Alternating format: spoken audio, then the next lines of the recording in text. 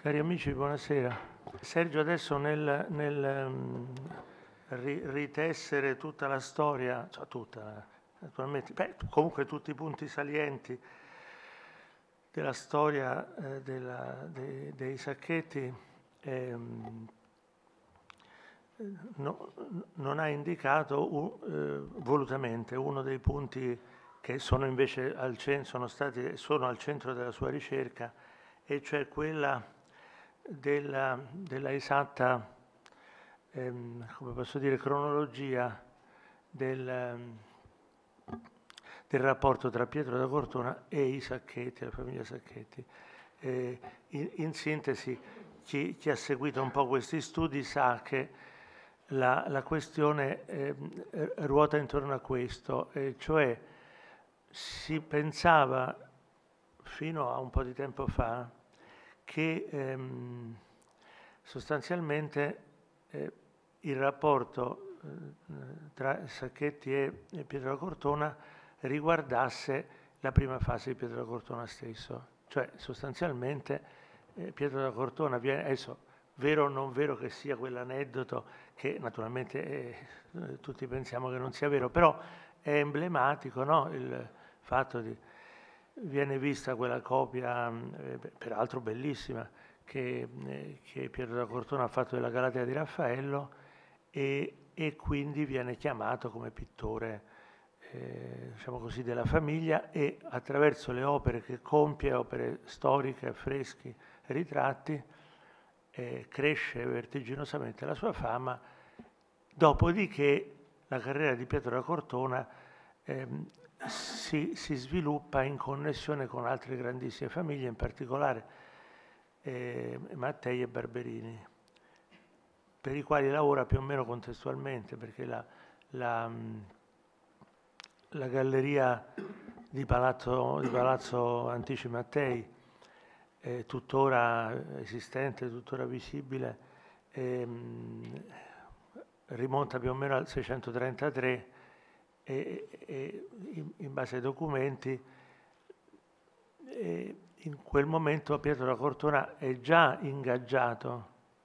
dai Barberini, forse non lavora ancora al voltone di Palazzo Barberini, però insomma eh, comunque che poi finirà molto tardi. Però insomma, no, non c'è dubbio che gli anni 30, gli anni 30 del, 600 sono, rappresentano la svolta eh, cruciale di, di, di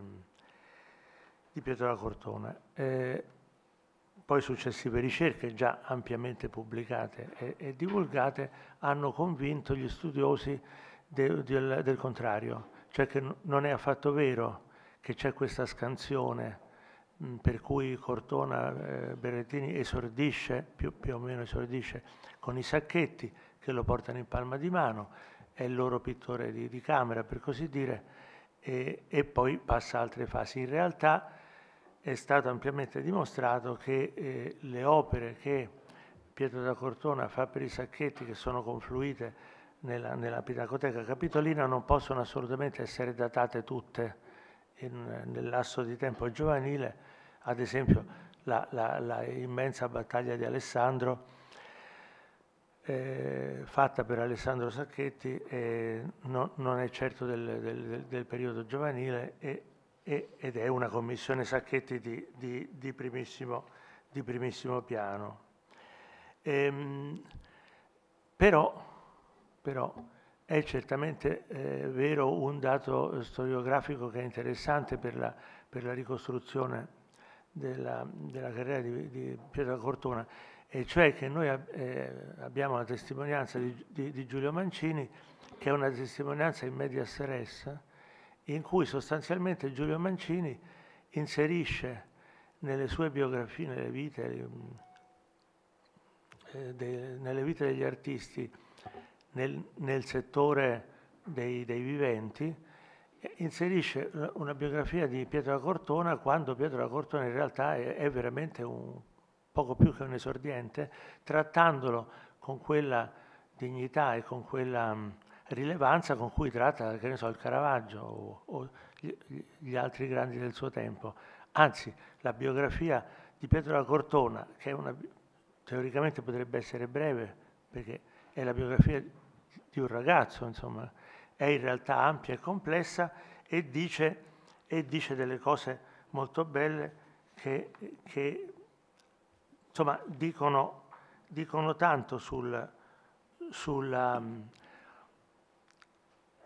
diciamo, su quello che può essere il più corretto giudizio per la comprensione del peso enorme che Pietro da Cortona viene avere nella Roma degli anni venti e, ehm, e naturalmente del suo rapporto con, con i sacchetti. Io mi ero, eh, mi ero trascritto un passo famosissimo, però, della, però naturalmente non si può pretendere che sia presentissimo alla mente di ognuno di noi, dalla, dalla biografia del, ehm,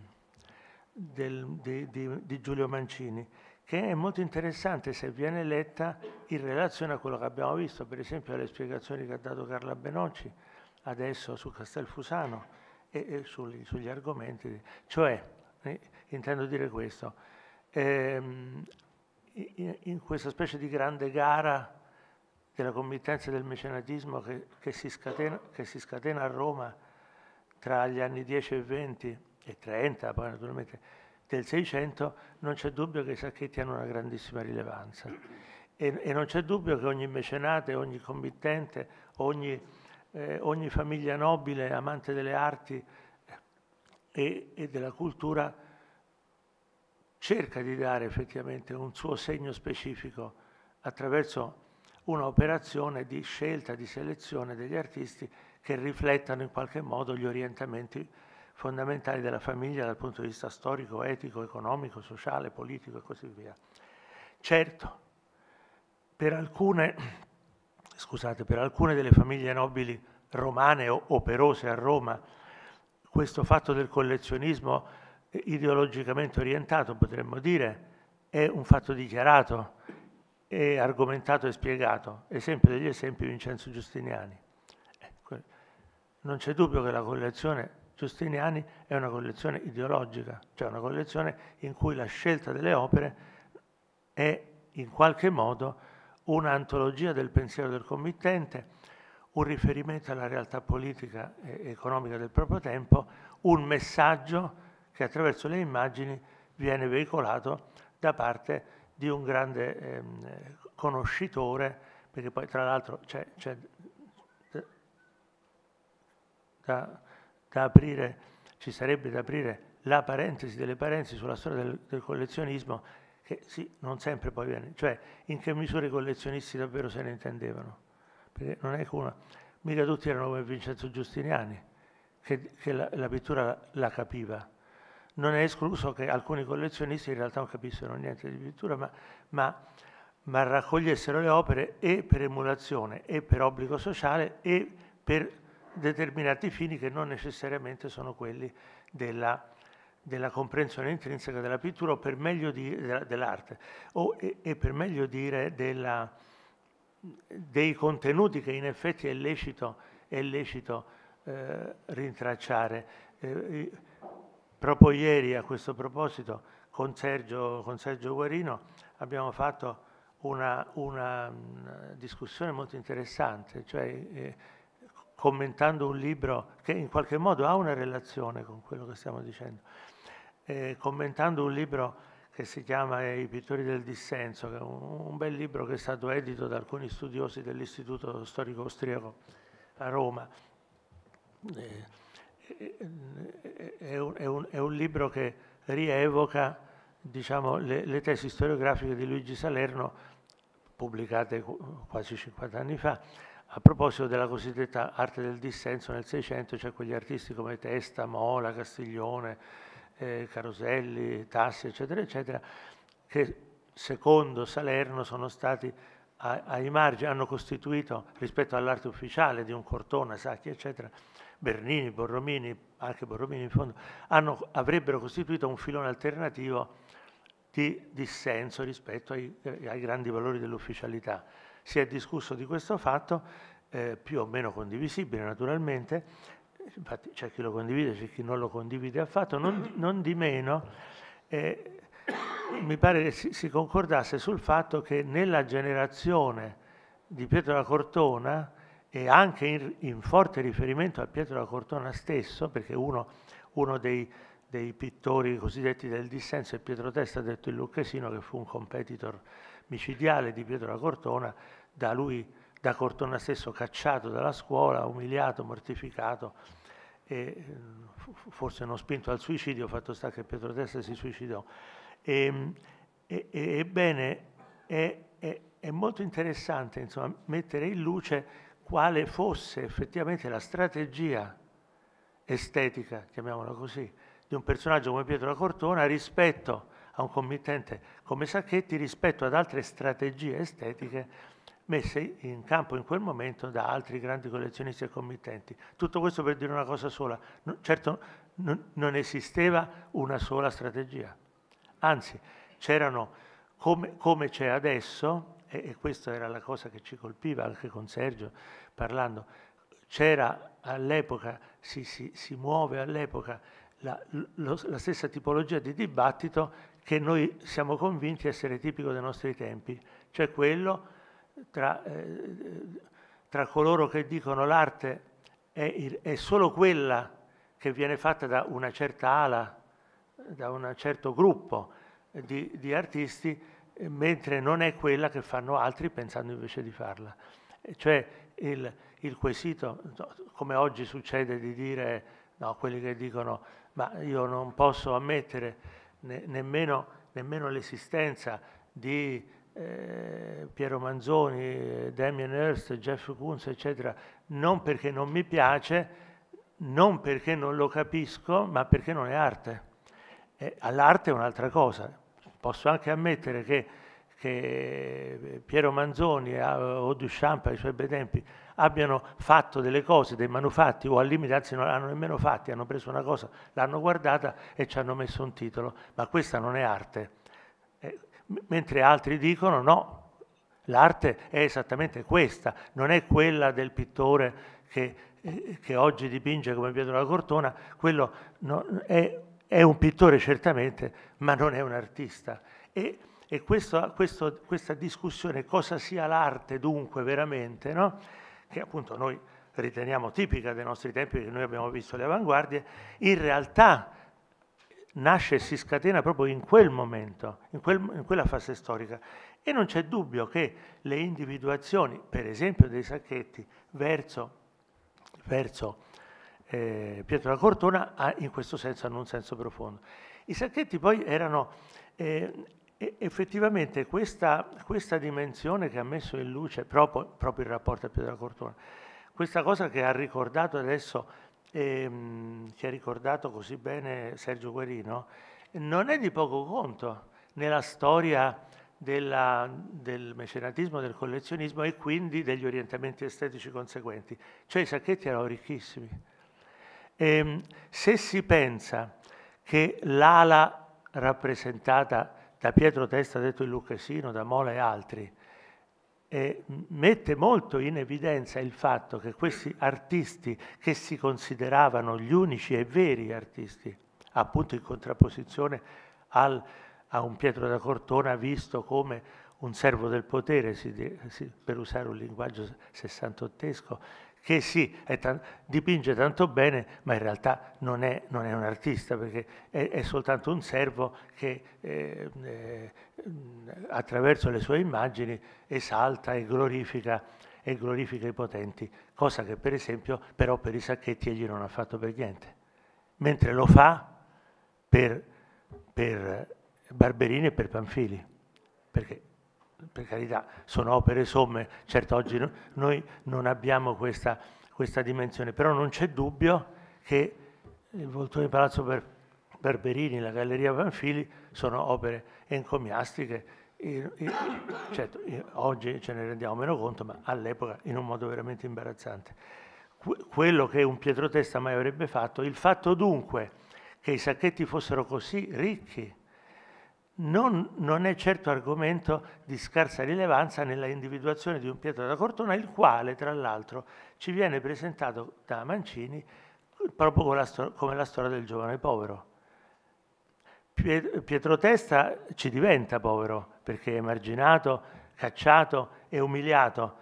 perché è difficile, perché è altero e perché è eh, diciamo, un, un, un, carattere insopportabile e certamente eh, non è un uomo che vuole rendere omaggio ai potenti, però nello stesso tempo quando si rapporta ai potenti eh, si comporta anche in modo stravagante, una specie di, di, di questi de, cosiddetto dissenso un po' tipo i 5 Stelle adesso, no? cioè, che magari dicono tante cose giuste, però non, non appaiono sempre simpatici. Pietro La Cortona invece è simpaticissimo, è una persona amabilissima, è un uomo squisito che sa vivere e sa, diciamo, tradurre nel, nel, nel, nello stile, nel modo di presentarsi e di presentare le opere, sa tradurre questa dimensione de, di una ricchezza conquistata. Con, conduce le sue opere, ecco, ecco Mancini, che parla di un ragazzo di vent'anni, che però, però è portato al, al, al palma di mano dai sacchetti. Quello sì, cioè quando Mancini scrive queste parole, non sappiamo bene in che anno, c'è tutta una discussione sul manoscritto di Mancini che che io sappia non si è mai risolta. Ma insomma Mancini ha scritto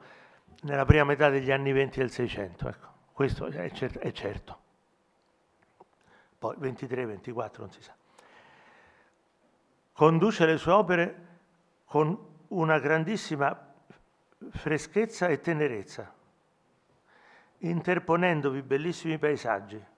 bellissime prospettive e molti frammenti dell'antico, con grandissima leggiadria e diletto dei riguardanti. I, I, superlativi si sprecano, è tutto bellissimo, tutto grandissimo, eccetera. Disegna molto bene di penna, dura fatica in veder dal vero. Questo è molto interessante, perché non c'è dubbio che c'era all'epoca e c'è anche adesso una, come possiamo dire, una, un automatismo di avvicinamento tra, diciamo così, la povertà, povertà intesa però in senso stoico, cioè come una scelta di vita che non vuole sottomettersi al, al potere autoritativo naturalmente della ricchezza, e il vero. Eh, il Caravaggio che fa il vero passa alla storia non come una persona ricca magari lo era, guadagnava tanto, tuttavia non c'è nel Caravaggio, raccontano le, le, gli aneddoti delle fonti, non c'è nel Caravaggio alcuna sottomissione al benessere dato dalla ricchezza. Ad esempio il Caravaggio no, non si compra vestiti, non compra casa, non possiede niente. Quando si fa l'inventario del suo studio non c'è niente, c'ha un, un, un liuto mezzo sfondato dei quattro canterani, eccetera, eccetera. Eppure, eppure, eh, era pagato molto bene. Però Caravaggio è il pittore del vero e come tale è comunque in una dimensione di stoica e severa povertà. E in realtà, guarda caso, Mancini, che è un critico molto attento e ideologicamente orientato, perché basta leggere le vite del Mancini per capire che effettivamente le sue biografie sono, un, sono dire, eh, costruite con un sottofondo costante di, di, critica d'arte di tipo ideologico e sociologico, diciamo la verità. Ebbene, Mancini mette in evidenza tutte quelle doti che sono le più tollerabili in chi comunque detiene un potere economico tale da poter schiacciare chiunque altro freschezza, tenerezza, bellezza, la categoria stessa della bellezza. Il, le, opere, le, opere, di Pietro da Cortona sono definite bellissime, e ma eh, eh, può, può, sembrare una sottigliezza, ma il grande elogio che è rivolto da questi scrittori del Seicento, perlomeno dai più consapevoli, prima naturalmente che arrivi la seconda fase della critica d'arte seicentesca, che è quella non più ideologica, ma ma letteraria, filosofica, quella diciamo incarnata dal Bellori. Eh. Ma questo arriva nella seconda metà del Seicento. Qui stiamo parlando di un tempo eroico, la prima metà, che Pietro da Cortona indubbiamente incarna in modo, in modo sublime. E, e tutti gli elementi, la freschezza, la tenerezza, la presenza del paesaggio, dell'antico, è vero, la leggiadria, il diletto sono tutti quegli elementi che danno piena giustificazione di un artista che in qualche modo è sintonizzato sul, sulla, non asservimento, ma certamente celebrazione e traduzione in linguaggio figurativo di una dimensione della ricchezza e del benessere del vivere che non può essere conferito se non dalla ricchezza medesima. Tuttavia, dura fatica in veder dal vero. Questa, questa, postulazione eh, di Mancini, che è scritta proprio in relazione alla committenza Sacchetti, è interessante. Dura fatica a vedere dal vero. Che vuol dire in buona sostanza? Che in verità Pietro da Cortona esordisce preservando quella grande tradizione del vero che nel primo ventennio del, Seicento si era radicato a Roma in modo poderoso e non certo soltanto attraverso l'opera del Caravaggio, ben inteso. Però quando poi alla fin fine Pietro da Cortona realizza la prima grande impresa che sia nota, conosciuta e apprezzata dal Mancini, e cioè la frescatura di Santa Bibbiana, è vero? Mancini dice che questa è l'opera veramente eh, ispirata, determinata dal, dal, dal, buon gusto. Dal buon gusto. Eh, ha un senso tutto questo rispetto a quelle opere che sono effettivamente la quintessenza del buon gusto, anzi sono il pilastro stesso di quello che poi sarà chiamato il buon gusto, quando arriva la scuola francese, e cioè le opere che, che, eh, fatte per i sacchetti, per l'appunto che eh, Sergio ci ha mostrato in rapida carrellata, dicendo così garbatamente che non ne, non ne parlava perché ne avrei parlato io. Ma insomma in realtà il punto non è tanto questo, ma quelle opere celeberrime, il sacrificio di Polissena, la, la, la battaglia di Alessandro, il ratto delle Sabine, è quell'opera così interessante e già questa un poco controversa, un poco controversa nella data, ci, perché a quest'opera sono state collegate delle, delle, una serie di testimonianze che non permettono di stabilire esattamente quando precisamente fu fatta, se fu fatta per un matrimonio, cosa comunque abbastanza strana, perché un ratto delle Sabine per un matrimonio non è... Ma c'è, chi ha sostenuto però con, di, con, dignità questa tesi, cioè sarebbe il, il matrimonio di Giovan Francesco Sacchetti, è vero, eh, con la Beatrice Tassoni. Questo matrimonio è, è, è, del 1631, quindi è un pochino, ma sarà, non sarà, insomma. il Ratto delle Sabine è certamente l'opera cruciale di Pietro da Cortona nella sua giovinezza, e poi non solo Pietro da Cortona, di tutta l'arte di quel tempo trattandosi di un capolavoro supremo. E ne, parla, ne parlerebbe Luca Berrettini in una famosa lettera scritta a Ciro Ferri nel 679. E, mm, è un quadro che eh, è appartenuto a Fabrizio Valguarnera, quel grande, quel grande mm, eh, antiquario, trafficante. È stata eseguita eh, forse per il re di Spagna, addirittura per, per Filippo IV, c'è, una, una, testimonianza del Sandrart, da un, da un, punto di vista filologico è una cosa di una complessità enorme che non, non si riesce a sciogliere, però che sia un quadro regale, che sia la quintessenza di una ideologia figurativa, insomma, che afferma se stessa nel rapporto che, che Pietro da Cortona per i sacchetti, questo sì certamente istituisce con Giulio Romano e quindi la tradizione raffaellesca e quindi la ricostruzione dell'antico secondo il raffaellismo però. Ecco un tema storiografico gigantesco che sì, è, è, è trattato molto, ma si potrebbe ancora trattare. Cioè, ehm, eh, questo è lecito dirlo, no? è lecito indicare questo rapporto privilegiato, privilegiatissimo di Pietro da Cortona con Giulio Romano perché se ne parla lui stesso nel trattato che firma con Ottonelli, il trattato sulla pittura. Uno, uno, dei pochi passi probabilmente scritti veramente da Cortona e non dal gesuita Antonelli parla proprio di questo, cioè di Giulio Romano, di come Giulio Romano riesamina l'antico attraverso il repertorio che può leggere soprattutto sulle colonne coclidi e quindi la problematica delle armature e quindi dell'esercizio delle armi, della battaglia e del combattimento vero nella, nella, eh, diciamo, nella iconografia eh, seicentesca rispetto al barocco. Ma poi è vero, possiamo davvero pensare che le Sabine venissero rapite a quella maniera lì, ma tutto quello che possiamo pensare è che è da escludere in modo perentorio, cioè che in effetti la dimensione fantastica di, di Pietro da Cortona che reinventa, ed è questa la sua massima gloria,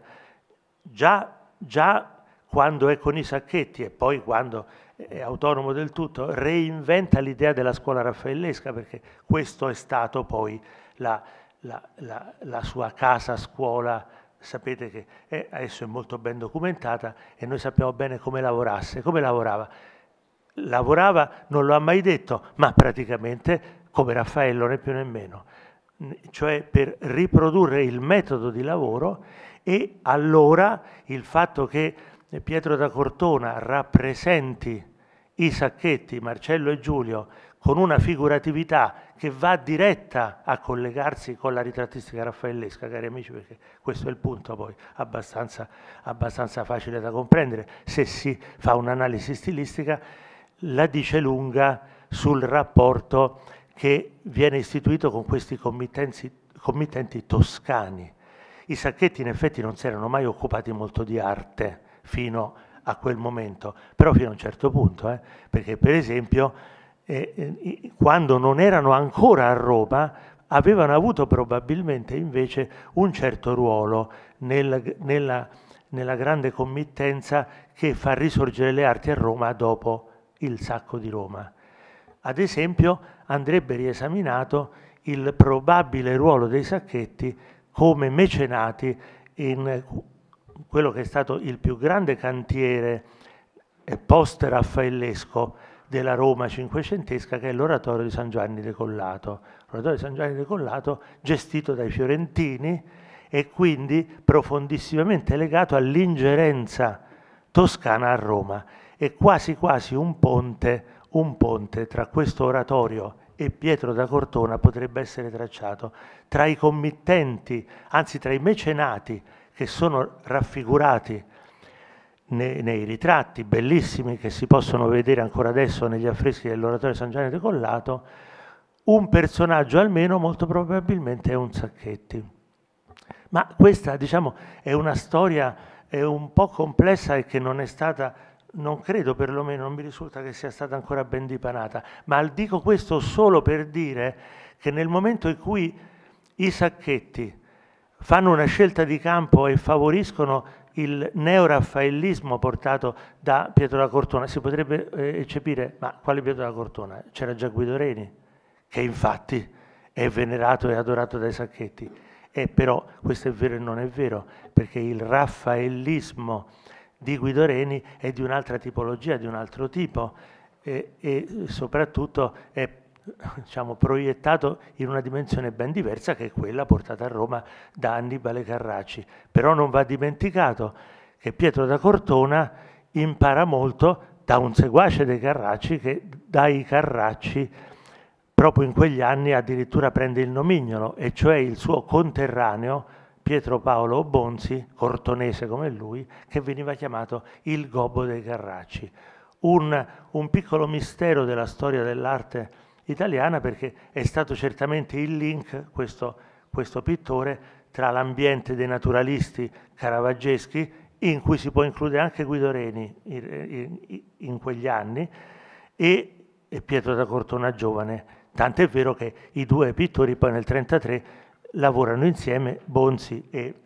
e Cortona, nella Galleria Mattei. Tuttavia, questo episodio che dovrebbe essere cruciale in verità per la ricostruzione di Cortona, è ancora avvolto in una fitta oscurità, perché pochissimo sappiamo di questo personaggio cruciale e dei suoi rapporti con i sacchetti, dico Pietro Paolo Bonzi. Ma questo era soltanto, come dire, un cenno per dire come c'è effettivamente un rapporto necessitante tra la formazione della personalità di Pietro Cortona come principe sovrano della corrente neoraffaellesca che poi arriverà fino alla seconda metà del secolo e i sacchetti che di tale tendenza sono effettivamente, quello sì, i primi grandi mecenati, i primi che comprendono quale eh, innovazione potente questo giovane toscano sta, sta portando a Roma.